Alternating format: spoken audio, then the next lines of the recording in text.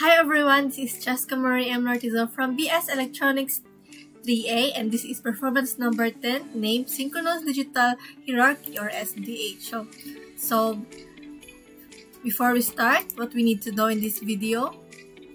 So what we need to know, what is SDH, example of SDH, the frame, form, and structure of SDH, and also the summary. So yeah, first, so what is synchronous digital hierarchy? So synchronous digital hierarchy is a group of fiber optic transmission rates that transport digital signals with different capacities.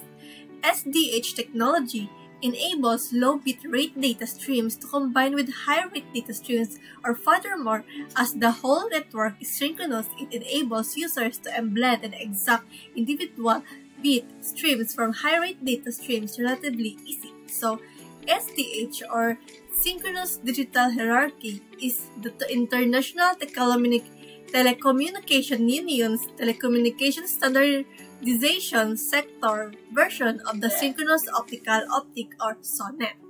So, both technologies provide faster and cheaper network interconnections and traditional perso Persochronous digital hierarchy or PDH equipment. So, SDH is used in transmission system for broadband and integrated services digital network and for transporting asynchronous transfer mode of cells, Ethernet organizations, PDF signals, storage area network signals, and other communication signals. So, SDH systems were developed in the late 1980s and early in 1990s to replace the PDH technology.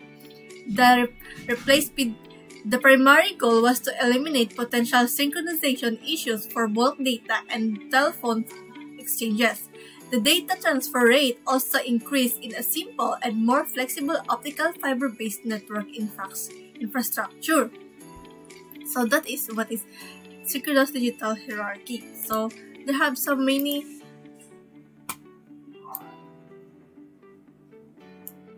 there are so many definition but it is more the more accurate definition of HD SDH and next. So what is synchronous digital hierarchy? And SDH uses the following synchronous transport modular STMs and rate by STM1-1 155 megabits per second or STM 4 or 622 Mbps and STM number 16 or 2.5 gigabits per second and STM 64 to 10 gig per second. So this is the sample of fiber optic cable which composed of the fibers, the Kevlar strength member, and also the 125 Omicron cladding and 62.5 Omicron core.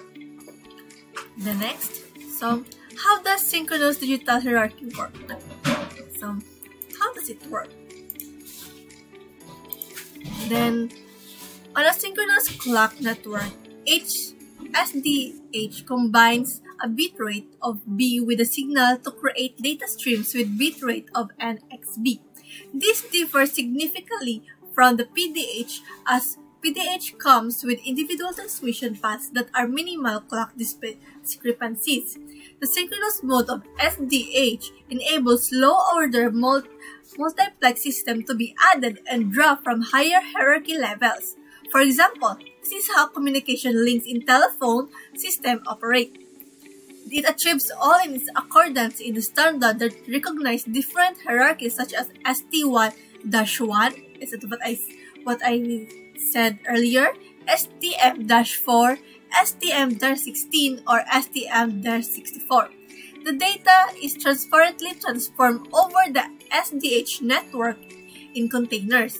In this scenario, users can reserve approximately 5% of the gross data rate for operation, administration, and maintenance purposes. So HDN basically works in the software running on the network.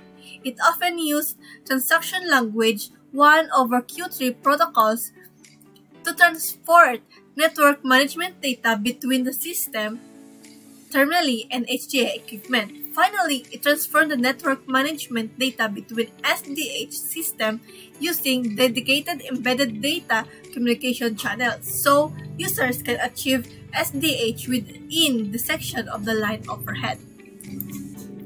So HD S, H, SDH or synchronous digital hierarchy also uses connection based on fiber and optics cables, copper lines, and satellite and directional radio links on the physical layer. The generator refresh muted or distorted signals and the multiplexes combine the signals into high bit rate data streams on the superior layer. However, users can also use digital containers to transport individual containers data. It enables the control mapping of the various signals of different bit rates as well. So yeah, how does the organization use containers? In this picture, how you can see, the production application is 41%, the the DAX or test and, and reproduction only plan to use them for production apps in the next 12 months, 3%.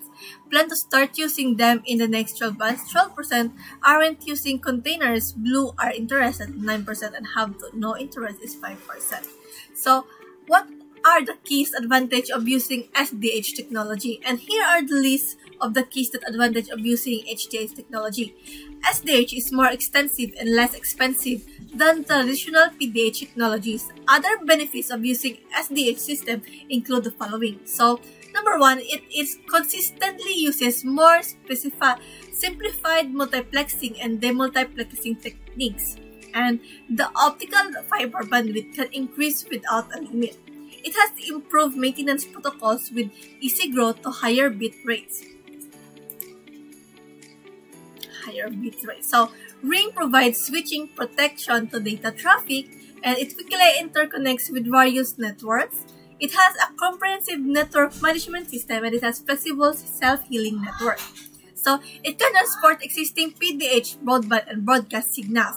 It continues to remain popular within telecommunication and networks and operators. It enables rapid recovery from failure it offers network transmission services on local area networks for interactive multimedia like video conferencing. It supports multiple operators or vendors and also it, it supports multi-point network networking. So that is the the advantage of the SDH technology, but it has also the disadvantage. So, but why SDH? So why SDH to be used? So it has high transmission rates. Also, this is then another advantage of SDH. Transmission rates up to 10 gig can be achieved in modern SDH system, making it more suitable technology for backbones, the superhighways and telecommunication networks. It is also simplified add and drop function. Compared to older PDH system, low bitrate channels can be easily extracted from inserted into the high-speed bit streams in SDH, eliminating the need for costly demultiplexing and remultiplexing the Basile-Chronus structure. It also has high availability and capacity matching. SDH enable network providers to react quickly and easily to their customers' requirements such as switching list lines in just a minute. Network providers can use standardized network elements or NE that they can control monitor from a central location with a telecommunication management network or TMN system. So it has also reliable. Modern SDH networks include various automatic backup circuits and repair mechanisms that manage can monitor to cope with system faults so that the link or NE failures do not lead to entire network failure. Then next, it is the future-proof platform for new services. Wow! SDH is a ideal platform for wide range of services including POTS, ISDN, mobile radio, and data communication such as LAN and WAN. It can also handle more recent services such as video on demand and digital video broadcasting via ATM. So it has, and lastly, it has the interconnection. So why SDH interconnection? So SDH simplifies gateway setup between different network providers to the SONET system.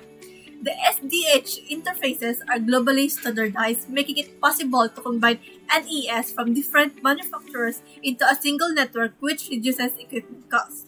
So that's it. So we are going to find also the disadvantage of it.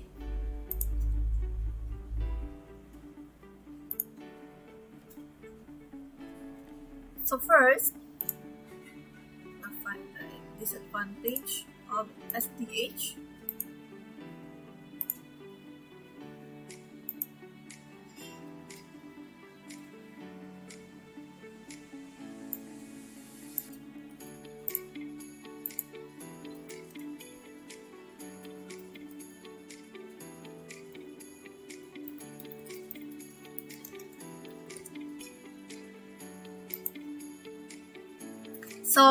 Here are the drawbacks of digital or the disadvantages of SDH. It offers lower bandwidth utilization ratio compared to PDH due to many OH bytes used for OAM. It is directly adding dropping of low rate signals is achieved using pointers. This increases complexity to the system and also the software is used largely in SDH system. That is the disadvantages of the SDH technology. And next, the frame format structure of SDH. So this is the format structure of SDH where you can see in the picture above or in my presentation here. So I'm going to explain that one. So the remainder of the overhead, the multiplex section overhead or MSOH is used for multiplex section needs and covers the part of the SDH link between multiplexers. So the carrier of the virtual containers or VC are available as payload and the H of N of its section which represent the part of mapping process. The procedure of packaging the tributary signals such as PDH and ATM to the SDH transport modules VC for mapping is used for 140 Mbps or ATM signals and VC12 mapping is used for B Mbps signals, as you can see there. So, communication networks gradually converted to digital technology after PCM was introduced in the 1960s. And a multiplex hierarchy known as Plesiochronous Digital Hierarchy or PDH involved to cope with the demand for ever higher bit rates. The bitrate starts with the basic multiplex rate of 2 Mbps with the further stages of 8, 34, and 140 Mbps. In the North America and Japan, however, the primary rate is 1.5 Mbps with additional stages of 6 and 44 Mbps as shown as shown in the figure and this fundamental development difference made gateway setup between the network and both difficult and expensive. In response to the demand for the increased bandwidth, reliability, and high-quality service, HDS developed steadily during the 1980s, eliminating many inherent disadvantages in PDH, and in turn, network provide and in turn, network provides began to benefit from the many technological and economic advantages this new technology introduced as discussed in this section.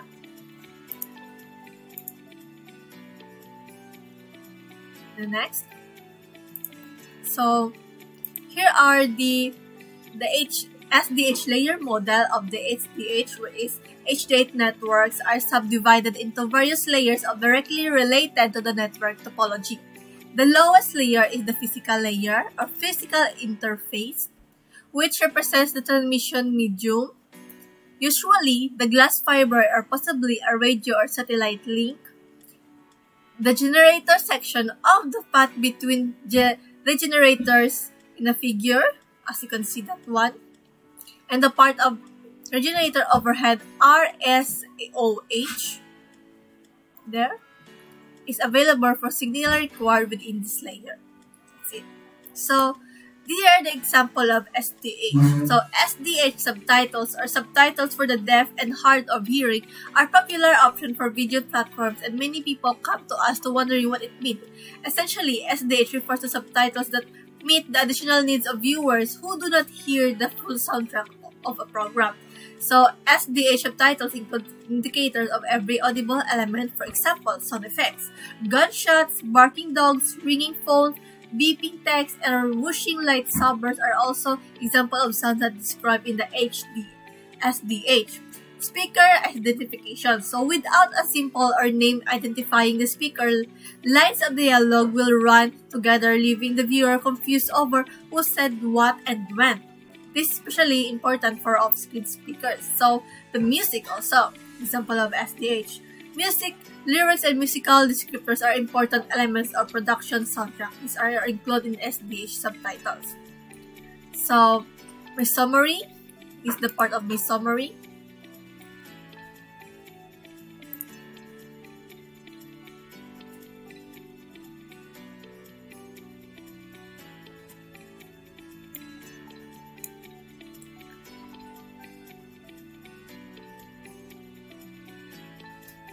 So, the summary is that communication network gradually converted to digital technology after PCM was introduced in 1960.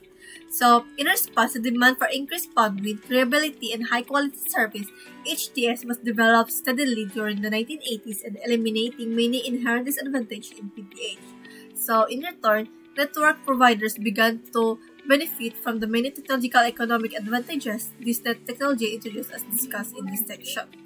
So it has the advantage of high transmission rates, simplified add and drop function, high availability and capacity matching, reliability, future-proof platform for new services, interconnection, and also it has a synchronous digital hierarchy of terms of layer model. So telecommunication technology like SDH are generally explained using so-called layer models, and what I have said earlier. And also it has these components of synchron Oh, Cronus network.